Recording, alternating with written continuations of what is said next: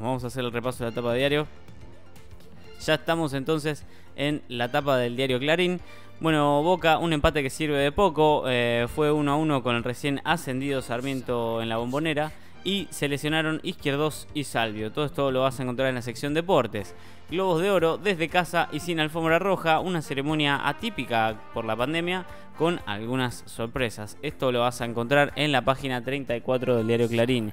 Por otro lado, el tema del día, la apertura de sesiones, habla Fernández en el Congreso presionado por la crisis judicial de Cristina.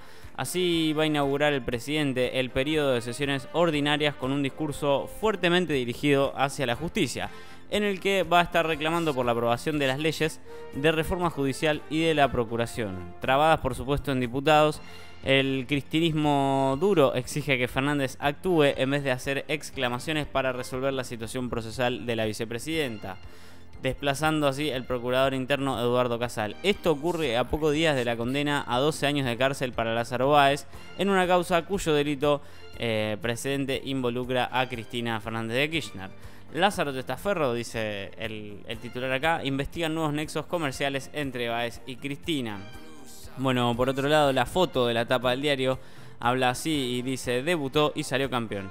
Con solamente 19 años y número 335 del ranking, el argentino Juan Manuel Cerúndolo se impuso por 6-0, 2-6 y 6-2 al español Albert Ramos Viñolas en la final del ATP de Córdoba. Un debut inmejorable en el circuito mayor para el tenista porteño. Esto lo encontrás en el segmento deportivo. Y yéndonos hacia el lateral derecho superior, tenés acá ciudad completa por los ciclos. Eh, arrancan las clases en la provincia de Buenos Aires, pero no se van a poder abrir todas las escuelas. Hoy tienen que retornar las actividades en el aula 1,7 millón de chicos de primaria y 750.000 de jardín público y privado por falta de mantenimiento y de elementos de higiene, según denuncian gremios y municipios, varios de los casi 10.000 establecimientos no, no van a estar abriendo. Y esto lo vas a encontrar en la página 26 del diario Clarín. Por otro lado, toque de queda y cierres. Una situación bastante complicada en Brasil. Eh, está paralizado por el alza inédita de muertes y de contagios. El país eh, registra un aumento no visto desde julio de infecciones y casos fatales. En 13 de los 27 estados la situación es crítica, con las terapias intensivas a punto de desbordar. Brasilia, la capital, entró ayer en cuarentena por 14 días. Hay un total de 10,5 millones de contagios y 254.000 muertes. Bueno, lamentable la noticia de Brasil, que la pueden encontrar en la página 22 del diario Clarín. Por otro lado, los mitos del COVID-19, ¿por qué no sirve desinfectar productos, eh, ropa y superficies? Estudios varios ponen en duda la transmisión del virus por esas vías y lo vas a poder encontrar el, el desarrollo de esta noticia en la página 30 del diario Clarín. Llegando al final del diario, cuatro muertos en Santa Cruz. Un nene de 8 años sobrevivió flotando 4 horas en un lago helado. Seis adultos y un nene paseaban en calle aquel sábado a la tarde en el lago Cardiel en el centro de la provincia. En ese, en ese momento el tiempo desmejoró y un fuerte viento dio vuelta a las embarcaciones. Murieron el presidente del Consejo Deliberante de Gregores, su hermano bombero, una mujer de 49 años y una veterinaria de 26. Ella, Mariana Bolsio, fue quien le dio su chaleco salvavidas a Mateo Barría, de 8 años, un gesto que le salvó la vida. Otras dos personas fueron rescatadas al cabo de 4 horas flotando en aguas heladas. Los sobrevivientes están internados con cuadros de hipotermia. Bueno, y así terminamos el repaso del diario Clarín. Eh, y ya sin tanto preámbulo y tanta cosa, nos vamos a ir al diario Crónica, lunes primero de marzo del 2021. Buenos Aires, año bueno 57 de precio, 60 pesos, mucho más barato que el Clarín que está 100, 100 pesitos. Alberto abre las sesiones ordinarias, dice así el primer titular, eh, que bueno va a estar sucediendo hoy en el Congreso. En la página 5 lo pueden encontrar. Se espera un mensaje sobre la recuperación económica, la vacunación, el lawfare y los ataques de la oposición. El lawfare es el, la justicia, digamos, más o menos el juego justo de la justicia.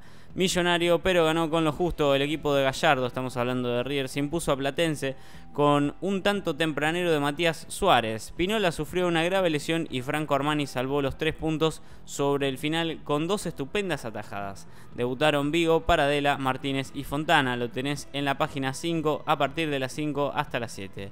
Por otro lado, 1.041.173 personas inoculadas. Siguen llegando vacunas.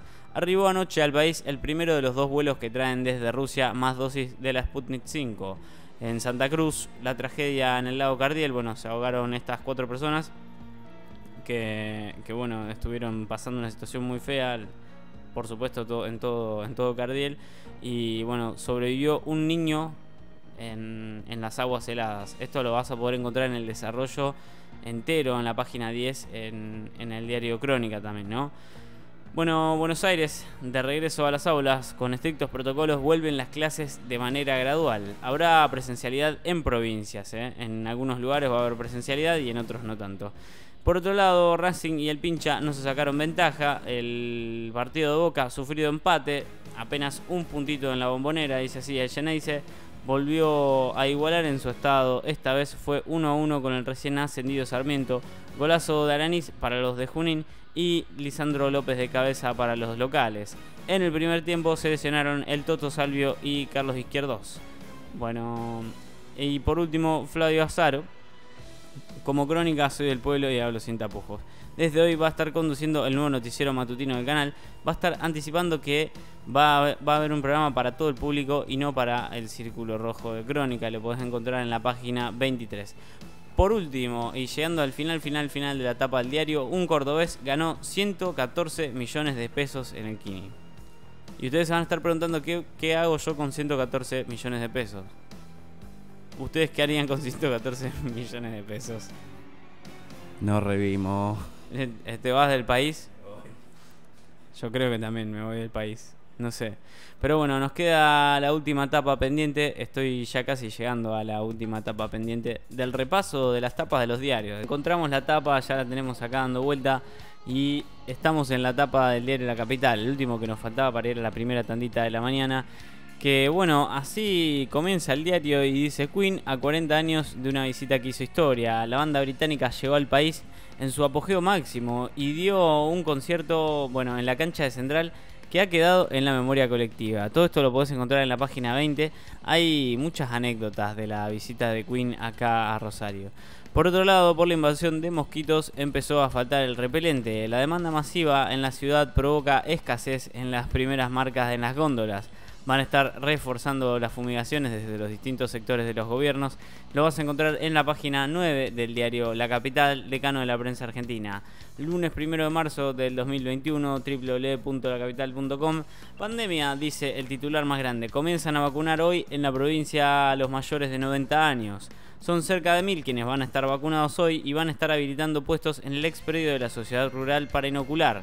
Bueno, a los que no puedan desplazarse se los atenderá en su domicilio. Estiman que los docentes van a estar comenzando a ser convocados a partir del miércoles o jueves próximo. Esto lo vas a encontrar en la página 3 del diario La Capital. Ayer llegaron al país más de un millón de dosis de vacunas de Sputnik 5 y, bueno, fueron provenientes de acá, de Rusia. Así que ya saben, eh, por otro lado, están intensificando los controles a las motos en el marco de, bueno, justamente políticas preventivas que buscan atenuar la ola de inseguridad en la ciudad. Aumentó fuertemente la cantidad de operativos sobre estos vehículos y bueno, se estima que se remiten al corralón municipal unas 40 eh, motos por día, más o menos. Esto lo podés encontrar en la página 8 del diario La Capital. Por otro lado, en el lateral derecho y superior, te podés encontrar con la parte de eh, zona sur. Una nueva balacera. Ingresan a una casa y disparan contra dos chicos. Una persona se introdujo en una vivienda, eh, bueno, hizo fuego sobre dos niños de 4 y 11 años. Los, los impactados fueron en las piernas. Están, los niños están internados pero fuera de peligro y lo podés encontrar el desarrollo de la noticia en la página 21 del diario de la capital. Eh, tristísima la noticia sobre la inseguridad y, las cosas que están pasando en la, ciudad de Rosario. Por otro lado, bueno, la familia de, estos dos chicos a los cuales les dispararon abandonó la vivienda. Eh, yéndonos hacia otro lugar, la Asamblea Legislativa dice así, pandemia, vacunas y economía, ejes del discurso presidencial en el Congreso. Alberto Fernández inaugura hoy en el periodo de sesiones ordinarias de ambas cámaras. Su meta es retomar la iniciativa política en un momento complejo para el oficialismo y esto lo encontrarás en la página 14. Además, Copa de la Liga Central quiere volver al triunfo ante Godoy Cruz bueno, el canalla está buscando borrar la mala imagen que dejó con River, lo puedes encontrar en el sector ovación y con escrito protocolo se rinde hoy el ingreso al Superior de Comercio. El miércoles les toca a los aspirantes a entrar al Politécnico y esto lo encontrarás en la página 5 del diario de la capital. Bueno, sin más preámbulo que darle, vamos a la primera tantita del día. 50 minutos nos separan de las 8 de la mañana, nos faltan 10 para las 9. Vamos y volvemos un corte rápidamente, ya volvemos. Esto que estás escuchando se llama Vida Equivocada, nos sintonizás en la 91.5. Mi nombre es Jeremías Caraballo, te mando al corte y volvemos en dos. Bajo Funes 41 68 19 027. General Láser